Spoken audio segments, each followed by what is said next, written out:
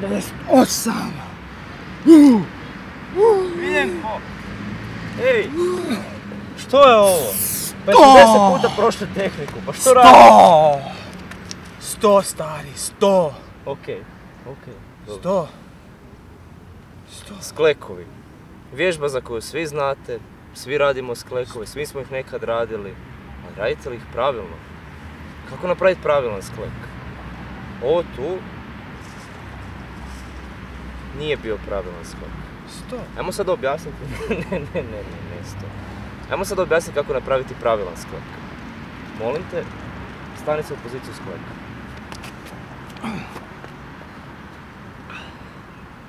To nije pozicija skleka. Leđa trebaju biti ravna. Tako da te molim da... Ok, sad su leđa ravna, ali vidite, ostatak nije baš. Ruke pomakni malo naprijed. Molim zravne ruke, zravne noge i skupi ih. Tako, skupi noge, izravne leđa. Kada radite sklekove, važno je da gledate naprijed, nikako u pod. Znači gledate naprijed i kada radite sklek, molim te, jel može praviti sklek? To nije sklek, to je bio trzaj.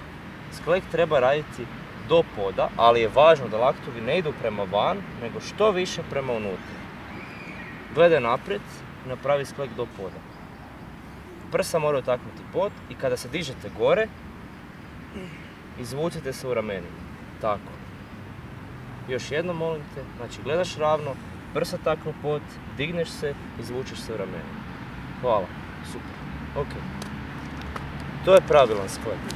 Bolje da napravite dva ovakva skleka nego sto onako. To je zato što ne možeš na tri.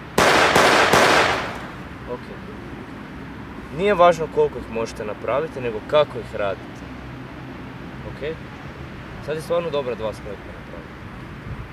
Vaš izazov će biti pokušajte napraviti par sklekova, ali po ovom principu. A ne kako je Miljenko radio. Miljenko sad radi dobre sklekove. Vidimo se iduću srijedu.